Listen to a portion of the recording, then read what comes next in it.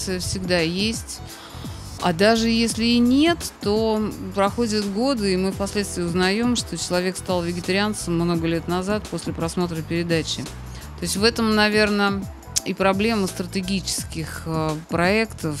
То есть когда мы работаем в данный момент, не получая сразу же ответную реакцию. Но мы знаем, что мы работаем на будущее, поэтому отклик есть. Лучший, лучший э, ответ и результат это то, что в России огромное количество веганов и вегетарианцев. За последнее время особенно это в геометрической прогрессии растет их количество и качество.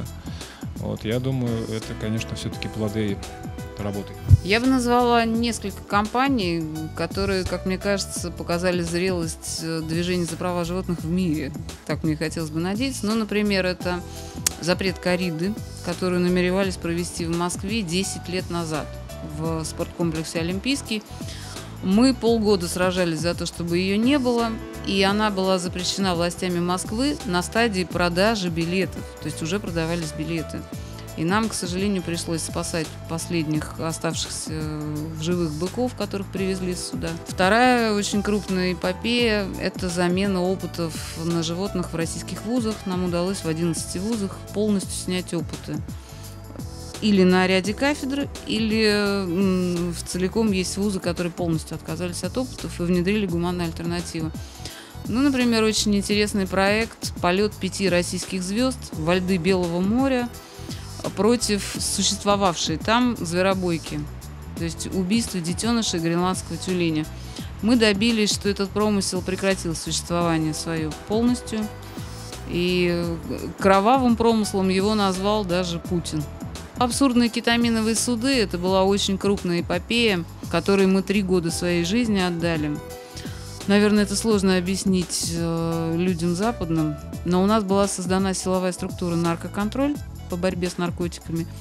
И почему-то вместо того, чтобы бороться с наркобаронами и пресекать наркотрафики, они запретили единственный самый ходовой наркоз в ветеринарии.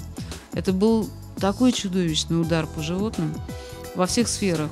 И подопытные животные, которые и так терпят лишения, лишились наркоза. Но нам удалось защитить э, ветврачей, потому что их ожидал тюремный срок от 7 до 15 лет.